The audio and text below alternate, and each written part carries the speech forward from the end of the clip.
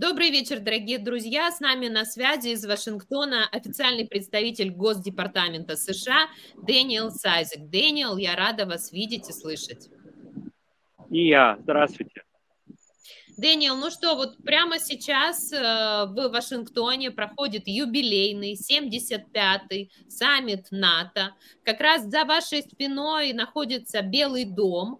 Мы просто, да. наверное, за деревьями немножко мы, нам не видно, но вот он буквально там рукой подать, где происходят э, очень важные события принимаются судьбоносные решения. Конечно же, Украину в первую очередь интересует, когда НАТО примет к себе нашу страну. Дэниел, скажите, когда НАТО примет Украину?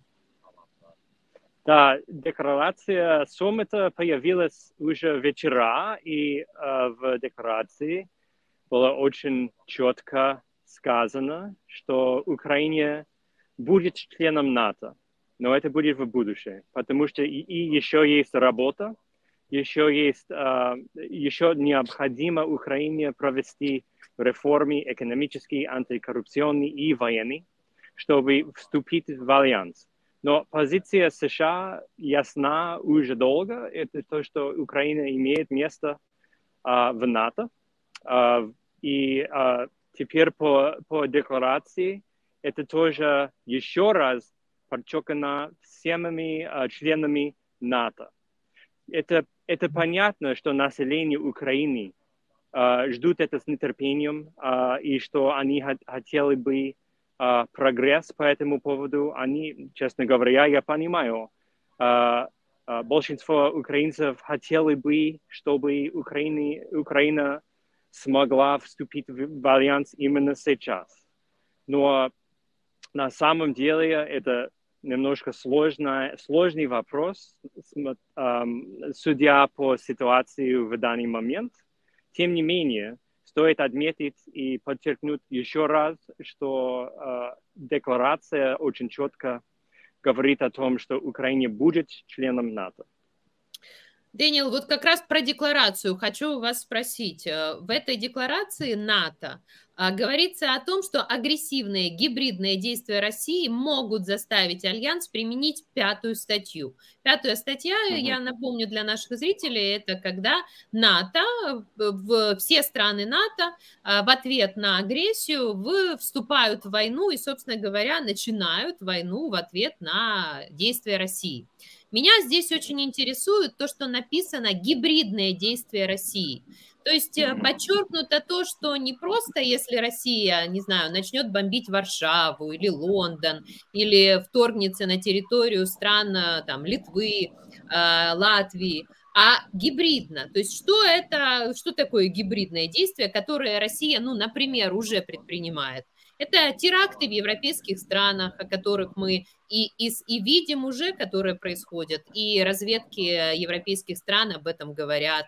Это и космическое оружие, которое может вывести спутники из строя, которое сейчас, как мы понимаем, судя опять же по отчетам, которые в том числе в Белом доме да, проходят, а, Россия может применять. Это и возможные взрывы подводной инфраструктуры с интернет-кабелями, с кабельными сетями электро, это подкуп западных политических лидеров. То есть это все элементы гибридной войны, которую Россия уже ведет против стран Запада, против США и против э, европейских стран. Дэниел, скажите, пожалуйста, вот когда в декларации НАТО написано гибридное действие России, гибридная агрессия России, что именно имеется в виду? Вот дайте мне примеры, например, а, что может заставить НАТО, какие гибридные действия России, применить эту пятую статью? Да, гибридная война, как вы уже говорили и э, хорошо описывали, это те э, меры, которые не точно полномасштабная война или и такое действие, но это, например, кибератаки, это может быть теракты или саботаж э, в Европе или в США против, допустим, промышленности uh, и так далее. Это может быть атаки на инфраструктуру, uh, но не, um, не прямое военное действие. действие. Uh, и uh, когда говорится о, о пятом артикле НАТО, это обозначает, что у НАТО есть разные возможности ответить на это. Это не обозначает а, войну как ответ. Э, это возможно принимать и другие меры, чтобы, например, поддерживать э, стран, страны НАТО, которые, э, э, у которых есть такие гибридные действия. Э, есть разные возможности. Но в конечном итоге НАТО основано на, э, по принципам сдерживания, и чтобы, э, предов, предов, э, чтобы избежать войну, и чтобы задерживать, или сдерживать, сдерживает агрессию, прежде всего, потому что это оборонительный альянс. Но это очень хороший вопрос. И то, что вот эта информация есть в декларации, это обозначает, что лидеры стран НАТО интенсивно обсуждали эти вопросы на саммите уже, потому что это очень важно э, строить планы или иметь общее, или иметь э, какое-то общее соглашение о том, как, как отреагировать на такие э, действия. Владимир Зеленский встретился вот там, где вы находитесь, да, в Вашингтоне, как раз на полях саммита НАТО, с новым премьер-министром Великобритании Киром Стармером. Они обсудили подробно использование ракет э, Storm Shadow против военных целей на всей территории России. Напоминаю, Великобритания, буквально вчера нам стало известно, дала разрешение бить своим оружием по территории России, по военным целям на территории России. Скажите, пожалуйста, Дэниел, когда же будет разрешение США для нас, для Украины, бить американским оружием по всей территории России? Вот этот вопрос uh, еще раз рассматривается uh, в администрации президента Байдена. Но то, что мы все видели месяца два назад, это было uh, изменение политики в какой-то степени. Да? Um, как реакция на преимущество, которое было на, на российской стороне. Потому что было видно, что под Харьковом а, это было очень тяжело для украинцев а, защитить а, вот эту территорию да, из-за а, политики, которая тогда существовала. А, в то же время США, как э, ядерная держава, имеет э, особенную ответственность, чтобы очень внимательно и осторожно рассматривать такие вопросы. Это просто факт. А, и поэтому э, команда президента Байдена, они еще обсуждают этот вопрос. А, стоит отметить в этой связи, что как США с начала полномасштабного вторжения говорил о таких вопросах, о таких вопросах, как ядерное оружие и так далее, и как русская, российская власть говорила об этом очень неответственно. Я думаю, что здесь мы видим разницу между правительством США и российская власть на данный момент, к сожалению. Энтони Блинкин сказал, самолеты F-16 уже на пути в Украину из Дании и Нидерландов. Эти самолеты будут летать в небе Украины этим летом. Скажите, пожалуйста, Дэниел, сколько мы ждем этих самолетов этим летом? У меня нет официальной, официальной цифры. Раньше в СМИ было э, статьи о том, что будет больше 60.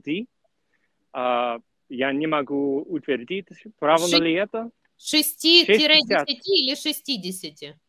60, да, 60. всего. Или, или больше, ну. Окей. Okay. Okay. Как там было э, писано, это будет больше этого. А, уже известно, что президент Зеленский, да, очень четко попросил больше ста. И он говорил, что вот это то, что нужно, что это то, что необходимо для Украины. А, и я я знаю, и я знаю, что администрация президента Байдена внимательно слушает, когда президент Зеленский говорит о том, что Украине нужно. Uh, иногда возможно, иногда и есть, э, ну, что сказать, визовый, потому э, предоставить все и так быстро, как нужно, э, оборудование и оружие. Но это очень-очень большой приоритет для США и других партнеров э, Украины. После того, как Россия совершила жуткую бомбежку, как раз накануне, кстати, саммита НАТО, среди бела дня на Киев, на другие города Украины, когда погибли дети, когда они ударили по главной детской украинской больнице Ахмадет. Скажите, пожалуйста, Дэниел, а будет ли реакция с точки зрения усиления санкций по отношению к России и какие именно санкции США планируют вводить? Ну, самая главная реакция – это э, даже более срочно по вопросу э, поставить Украину дополнительный систем ПВО, как президент Байден анонсировал два дня назад здесь на саммите, что будет и еще пять систем ПВО.